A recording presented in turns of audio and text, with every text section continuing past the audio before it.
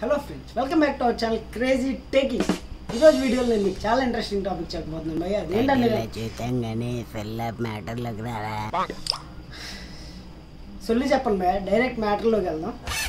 మీరు చూసారంటే కనుక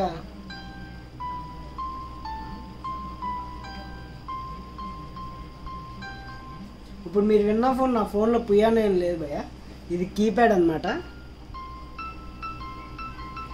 సో కీప్యాడ్కి ఆ విధంగా జియోమీ మొబైల్ వాడుతున్నట్లయితే మీరు సెట్ చేసుకోవచ్చు.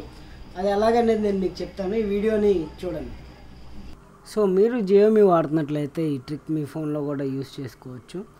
నేను రెడ్మీ నోట్ ఫైవ్ ప్రో వాడుతున్నాను. సో దీంట్లో ఏ విధంగా ఉందంటే మనం ఫస్ట్గా కీప్యాడ్ ఓపెన్ చేస్తే ఇది నార్మల్ టోన్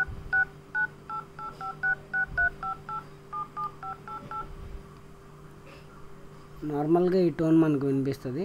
కింద చూసినట్లయితే త్రీ లైన్స్ ఉంటాయి కదా దాని మీద క్లిక్ చేయండి సెట్టింగ్స్ అని కనిపిస్తుంది. సెట్టింగ్స్ ఓపెన్ చేయండి. దీంట్లో మనకి ఆప్షన్స్ కనిపిస్తున్నాయి కదా లాస్ట్లో అడ్వాన్స్డ్ సెట్టింగ్స్ ఓపెన్ చేయండి. మీకు దీంట్లో డైల్ ప్యాడ్ టచ్ టోన్స్ అని ఉంది చూసారా అది ఓపెన్ చేయండి. తర్వాత టోన్స్ మీద క్లిక్ చేసినట్లయితే మనకి పియానో టో కీస్ అని కనిపిస్తుంది. సో అది క్లిక్ చేసినట్లయితే సెట్ అయ్యిద్ది బ్రదర్. సో ఈ విధంగా మీ కీటోన్ని చేంజ్ చేసుకోవచ్చు.